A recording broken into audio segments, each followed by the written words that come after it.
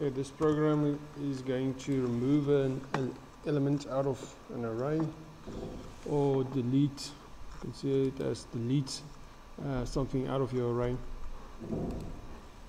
So let's say I enter the value 2 in my spin edit, I click on remove, it's going to remove Nathan out of the array, it's going to move, move Mark and the rest of the people up in your array.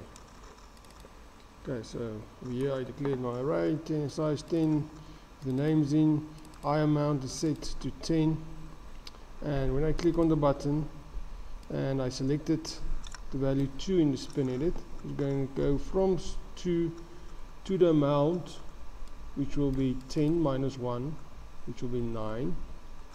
Okay, so it's going to run from 2 to 9. You don't want to run to the last one, the 10th one, because then you can't compare it to the next one, because there's not the number 11.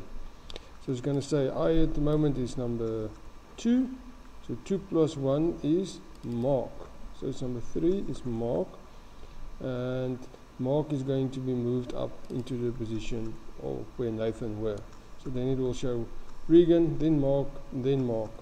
Then this loop is going to repeat again. It's going to take Rory and move Rory up into Mark's position. So it's going to read Regan, Mark, Rory. It's going to move everybody up by one, except when it comes to Jill, he said minus one, so it's not going to take the next one and try and put it into Jill because there won't be a next one. There's not a number 11. Okay, and then if we're done with the array, or the loop then we're going to remove the last element because the last one will be empty now because we removed one. And we are going to decrease the amount of names that will be in our array. So it's just i amount minus one.